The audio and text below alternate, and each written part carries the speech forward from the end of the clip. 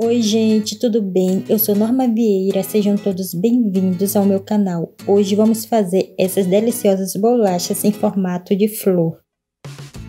Em uma tigela, coloque 3 colheres de sopa de manteiga ou margarina, 3 colheres de sopa de açúcar, misture até que fique homogêneo.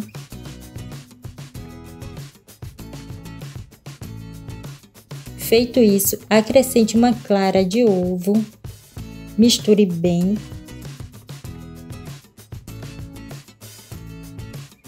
Adicione 100 gramas de farinha de trigo, 100 gramas equivale a meia xícara de chá de farinha.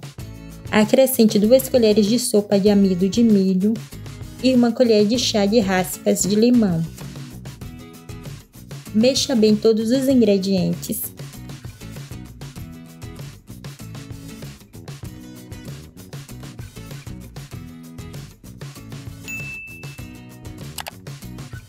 Fica assim, nessa consistência.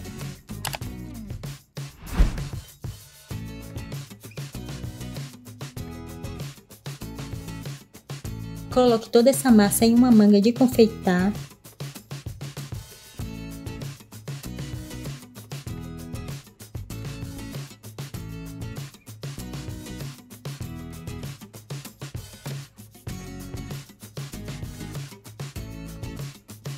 Esse bico que estou usando é um M. Em uma forma untada e enfarinhada, faça pitangas bem juntinhas uma da outra em formato de círculo.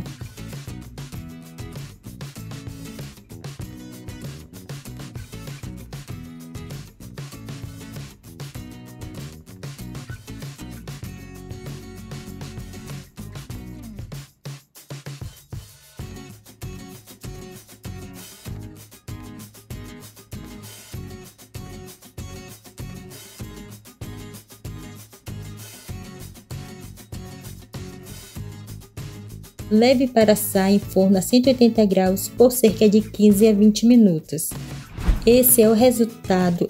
Essa bolacha é uma delícia. Pode fazer na sua casa, eu garanto. Vocês não vão se arrepender. Essa foi a nossa receita de hoje. Espero que tenham gostado. Não esqueça de deixar sua curtida e de compartilhar.